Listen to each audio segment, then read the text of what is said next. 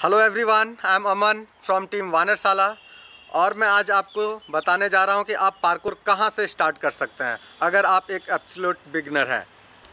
Parkour है क्या? Parkour का डेफिनेशन क्या है? पार्कोर का डेफिनेशन है, आप एक जगह से दूसरे जगह सबसे बेस्ट तरीका, सबसे एफिशिएंट तरीके से जाते हैं through rolling climbing leaping jumping diving and running as well हो सकता है मैं कुछ एलिमेंट्स बताना आपको भूल गया हूँ बट इंपॉर्टेंट क्या है, वो बताना ज़रूरी है। इंपॉर्टेंट ये है कि मैं आपको कुछ ऐसा बताऊँगा जिससे आपकी पार्कोर जर्नी स्टार्ट हो जाएगी और आप मूव करना स्टार्ट कर देंगे।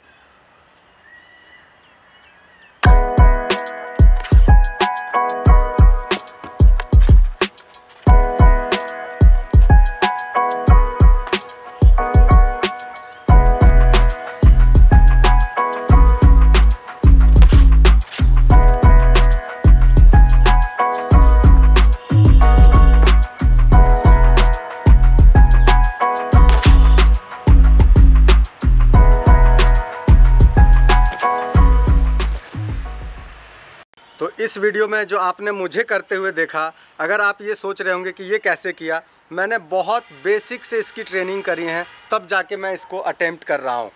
हो सकता है कि इसको अटैम्प्ट करने में आपको चोट लग सकते हैं इंजरी हो सकती है। इंसान तो यू नो गलतियों का पुतला है, वो करेगा गलती। बट तब आप मिस्टेक नहीं करेंगे, जब आप बेसिक रूटीन को बहुत अच्छे से फॉलो करेंगे, जो कि मैं करता हूँ। तो आप याद कीजिए याद तो आप कर नहीं पाएँगे क्योंकि आप तो बेबी थे, हम भी बेबी थे। तो जस्ट इमेजिन कीजिए कि एक बेबी है तो बेबी पहले ग्राउंड पे घिसकता है, फिर वो क्रॉलिंग के मोड में आता है। क्रॉलिंग के मोड में फिर किसी खंभे या कुर्सी या डंडे को पकड़ के वो खड़ा होता है, फिर इसके सहारे चलता है, फिर वो रनिंग वॉकिंग जॉगिंग सब कुछ करना सीखता है। तो ये सारे बेसिक मूवमेंट ग्राउंड से होके धीरे धीरे आप देख पाए, जो आपने वीडियो में देखा था, वो यही था।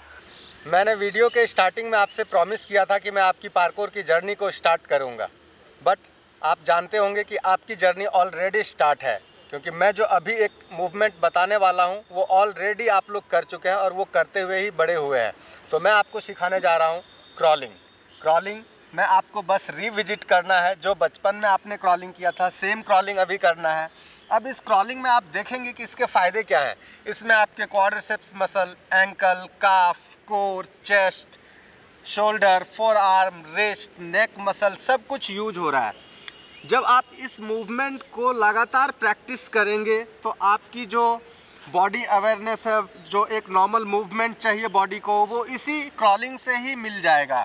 और आप देखेंगे, पंद्रह दिनों के बाद आप बहुत अच्छे से क्रॉलिंग करना सीख जाएँगे और इस क्रॉलिंग की वजह से आपके मूवमेंट में बहुत ज़्यादा फ़ायदा होने वाला है।